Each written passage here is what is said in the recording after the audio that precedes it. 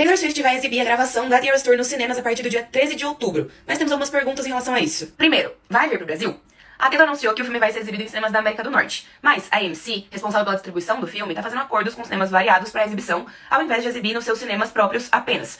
Por isso, o filme também vai ser exibido no Cinemark nos Estados Unidos, no Cineplex no Canadá e no Cinépolis no México. E a Variety revelou que a rede pretende fechar parcerias com vários outros cinemas até outubro. Então esperança é a última que morre. Segundo, nos sites de vendas de ingressos está dizendo que o filme vai ter 2 horas e 45 minutos de duração, mas a gente sabe que o show tem ao todo 3 horas e 15 minutos. Então o que é que vai ser cortado? Provavelmente os intervalos, os pequenos intervalos entre trocas de roupa e mudanças de set, mas será que é suficiente? Ainda mais contabilizando os créditos que devem aparecer no final do filme? Fiquei um pouco preocupado com isso aqui, vou confessar pra vocês. E terceiro, quais vão ser as surprise songs exibidas? A Taylor gravou três shows de Los Angeles para esse propósito, e as surprise songs desses shows foram I Can See You, Maroon, Our Song, You Are In Love, Death by Thousand Cuts e You're Your Own Kid. Então as minhas apostas são Our Song, pra ter pelo menos uma música do álbum de estreia dela, né, do debut, e também You're Your Own Kid, porque foi a música que gerou a tradição dos Friendship Bracelets.